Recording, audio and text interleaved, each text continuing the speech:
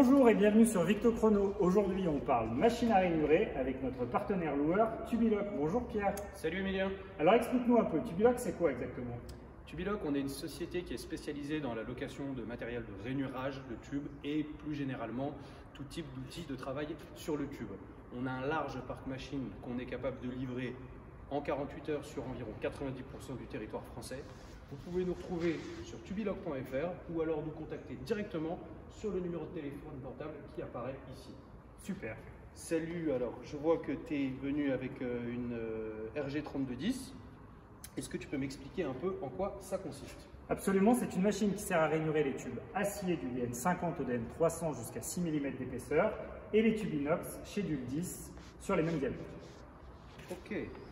Est-ce que tu peux m'expliquer un peu à quoi correspondent ces galets supplémentaires qui ne sont pas montés sur la machine? Exactement. Donc en fait, il s'agit des galets qui, sont par, qui vont par paire en fonction des diamètres que vous rainurez. Les diamètres sont écrits sur les tubes, sur les galets, par exemple du DN 200 au DN 300, molette haute, molette basse.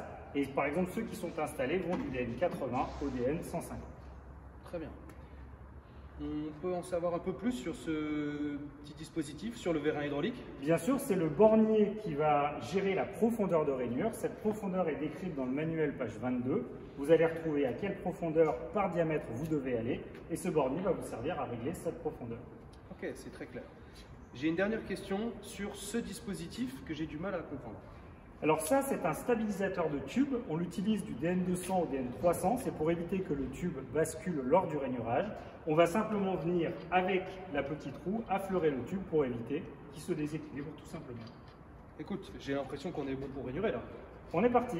Alors, à toi de jouer avec ce tube en 114.3 par 3.6. Donc tout ce qu'on va faire, c'est venir plaquer le tube en fond de cette molette-là. On va venir descendre mon vérin hydraulique pour venir pincer le tube et le maintenir dans la machine, tout simplement. Quand on utilise des tubes inférieurs à 1 mètre, c'est tout ce qu'il y a à faire. Si jamais vous avez 1 mètre et plus, vous devez utiliser les servantes qui sont livrées avec. Vous la positionnez à peu près à la moitié du tube. Le tube doit être de niveau et perpendiculaire à la machine. Ok, donc pour résumer, embuté, de niveau, je pince et on est prêt pour rainurer.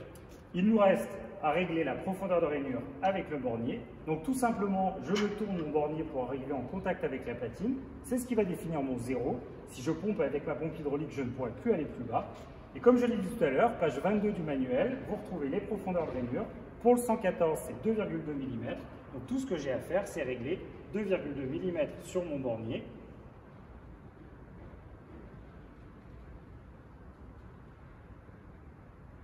Voilà je verrouille ma position et donc je vais appuyer sur ma pédale pour entraîner le tube en rotation. Mais avant ça, attention, je vais faire une petite marque sur mon tube pour repérer mon point zéro.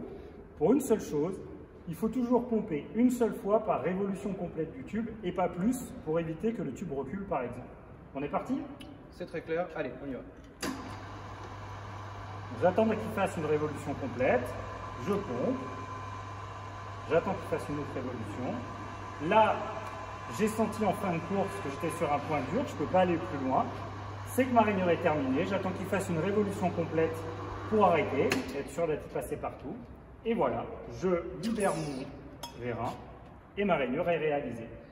Alors, évidemment, on aurait très envie de le poser, mais comment je peux être sûr que j'ai bien fait ma rainure c'est une très bonne question. Toutes les machines sont livrées avec un mètre de contrôle, mètre qu'il suffit de dérouler, de placer en fond de rainure et qui va automatiquement vous dire si votre rainure est correcte.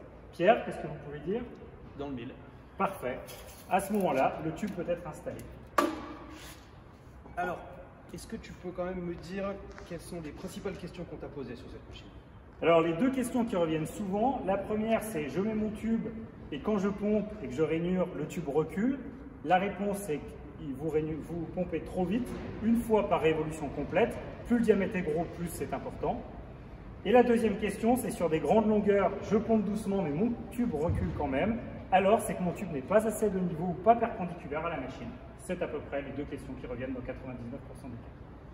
Quelque chose d'autre Non, vous avez tout compris et vous savez maintenant comment rainurer du tube acier du DN50 au DN300. Super. Merci Tubiloc. Salut Victorique. À bientôt sur Victo Chrono.